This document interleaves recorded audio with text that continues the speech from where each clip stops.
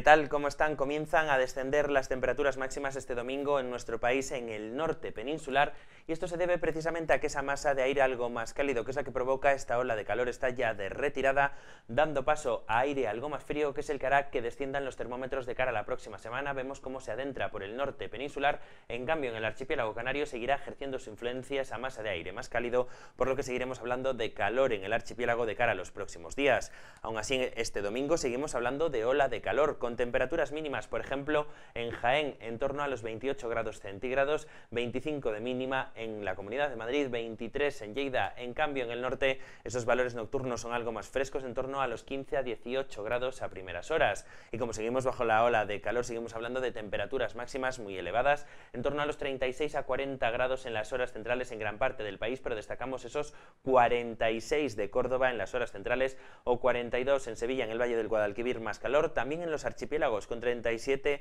en Palma y en muchos puntos del archipiélago canario superarán los 36, sobre todo en medianías de las islas. En cuanto a la situación en general, seguiremos hablando de altas presiones, ejerciendo su influencia sobre la península ibérica, con ese flujo del norte, eso sí, aportando más humedad al área cantábrica, por lo que el domingo por la mañana tendremos cielos algo más cubiertos en esa zona, incluso con alguna precipitación, y destacar también presencia de calimas en el archipiélago canario, tanto por la mañana como por la tarde, y por la tarde en la península se irán desarrollando nubes de evolución, sobre todo en el este peninsular, que en áreas de montaña nos pueden dejar algún chubasco muy disperso o tormenta seca y también destacar presencia de calima en puntos del Mediterráneo, también del archipiélago balear y sobre todo en el sudeste peninsular. Esto ha sido todo, si quieren más información pueden consultarla en nuestra página web.